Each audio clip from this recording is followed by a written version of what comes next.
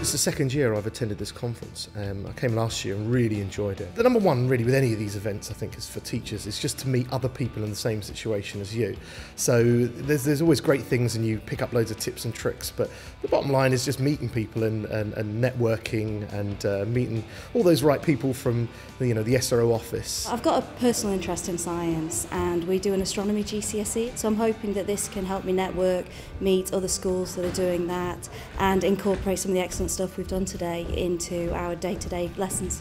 I'm really interested and passionate about space, and I'm just looking for ways to bring space into the classroom, both for mathematics and for the sciences. So I wanted to see some of the teachers involved here and what they had to say about education and how um, the how space would fit in from an educational standpoint and how it fits in with the curriculum. It's nice to uh, see people from research um, and actually get involved with them and hear from their point of view uh, the work that they're doing and how we can incorporate that in our everyday teaching.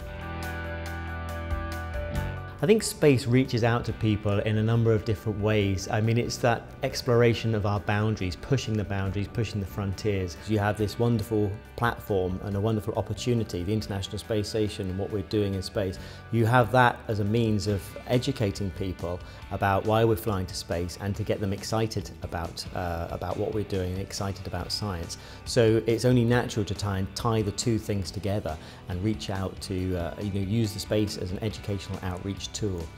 Today's been really inspiring. It's been useful because we get to meet lots of other people. We get um, a look not just at um, the applications of our subject, but also um, some of the wider science behind um, space. By using space as the inspiration then you can draw hooks to whichever subject you happen to be teaching, whether it be maths or science or uh, physics, chemistry, biology. All of that is occurring right now on board the International Space Station. So there are hooks into space that can help students relate to what they're doing and what they're studying back on Earth. It's trying to make something that I love interesting when I'm teaching it to younger people.